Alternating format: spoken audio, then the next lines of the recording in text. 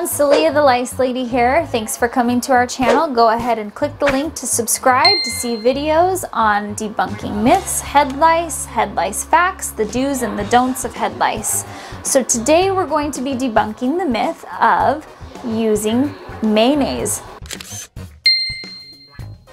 Super disgusting, um, but it's actually pretty common that people do use mayonnaise on their heads to get rid of head lice. Um, it is heard and there have been some things here and there that have linked mayonnaise on the head killing head lice to food poisoning in people. So I do say use this one with caution if you're going to try it. But let's go ahead and stick some lice in mayonnaise and see what happens. So what we're gonna do is we're gonna squirt the mayonnaise in the petri dish and then flip the petri dish over and watch them from the backside since you can't really tell what's going on from the front. Oh, this is disgusting. Don't put this on your kids' heads, guys.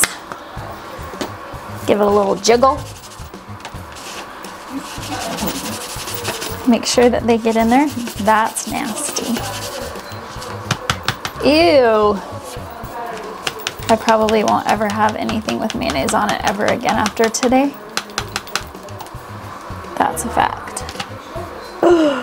they disappeared. So this video is definitely going to take a while. Um, we're gonna have to dig them out of there, clean them up a little bit, but we're just gonna kind of let them simmer in the mayonnaise and see what happens. Hopefully we can find them. Okay guys, so we have these lice in the mayonnaise. I have no clue where they are, so I have to go through. This might take a while, I'm not quite sure, but I do know that, oh, oh, this might be my lucky day. And I have to be so careful that I don't like smash them. There's one, we're gonna have to give it a good little clean off. Oh, is that it? Oh gosh, this is the worst scavenger hunt I've ever been on. This is disgusting. And you guys, it smells nasty. So again, might work, might not. But let's go ahead and let's see. let's go ahead and see what's going on. We're gonna clean them up a little bit, super carefully. So disgusting. Who does this? I do. Oh my gosh, like it does not want either it's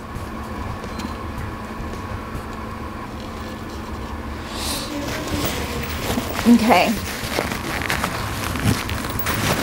So we're gonna give them a little bit of time to wake up. Ugh. Well, it's interesting because they're attaching to their first thing that they feel. They have little crab-like claws, and so if it was dead, I don't think it would be able to do that. All right, guys, so mayonnaise bug is still alive. So, we have one, it's either dead or it's playing dead, not quite sure what's going on. Um, but not 100% effective. Um, and do you really want to put mayonnaise on your head? Like really, this is smells disgusting. Totally up to you though.